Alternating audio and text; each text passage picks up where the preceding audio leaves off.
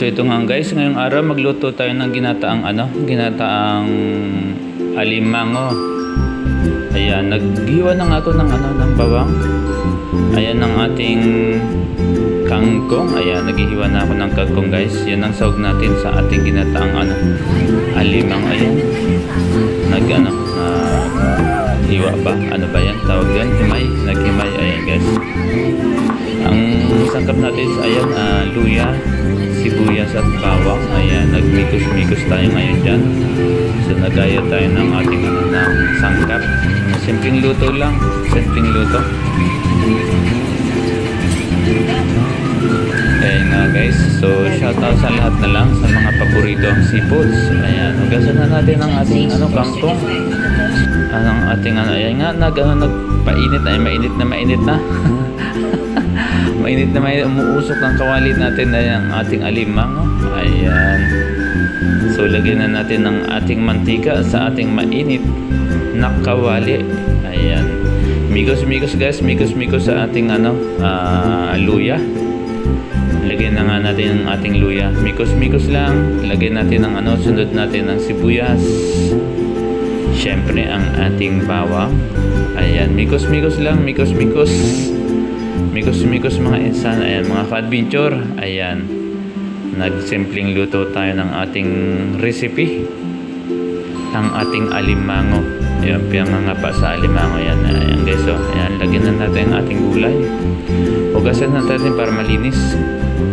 Di ba? Hugasan na natin. Ayan, lagyan na nga natin ang gulay natin guys. Ayan, yummy yummy. Amoy pa lang yummy na.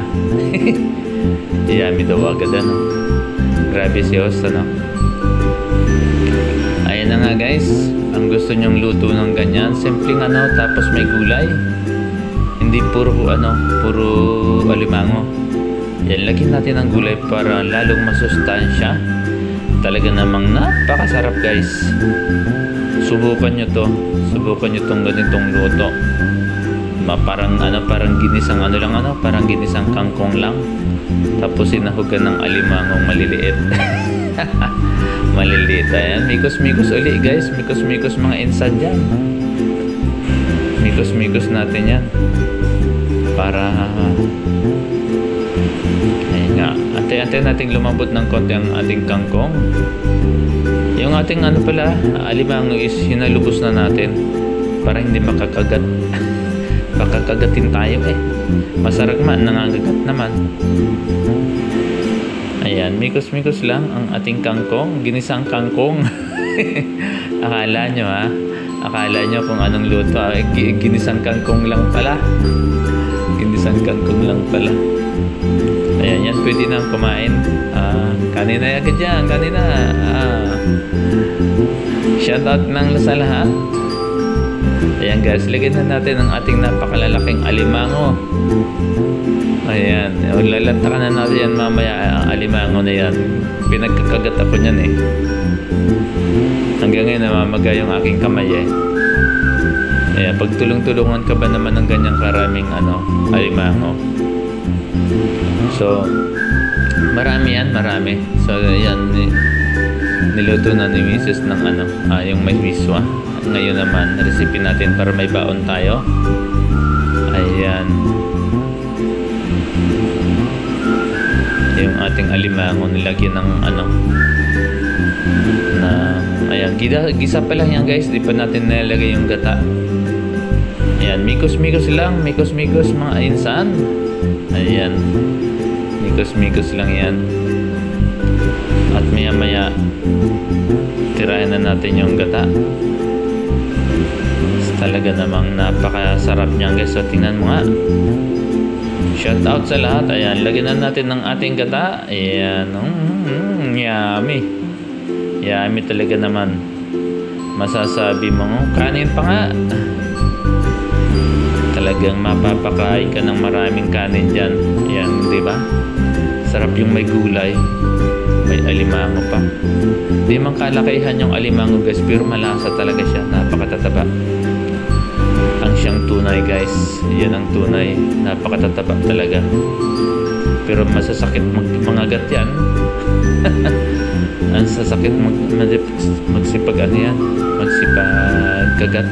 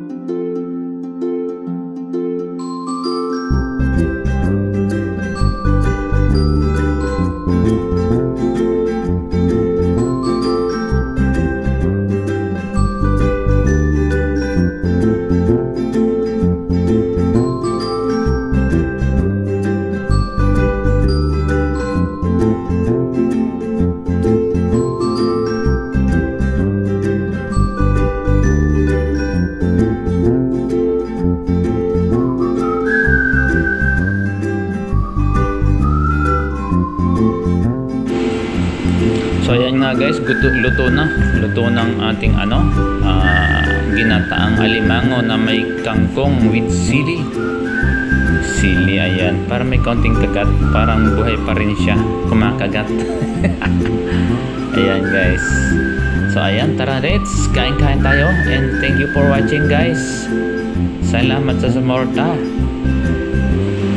Bye-bye and shout out po sa lahat. Bye-bye. For watching.